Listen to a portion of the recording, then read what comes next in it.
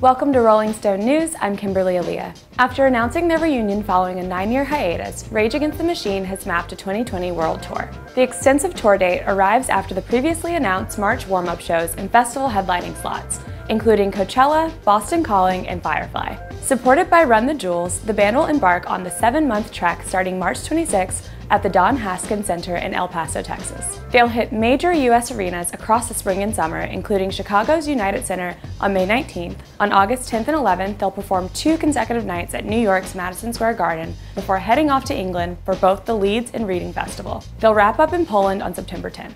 All proceeds from the first three shows at El Paso, Texas, Las Cruces, New Mexico, and Glendale, Arizona will go directly to immigrant right organizations.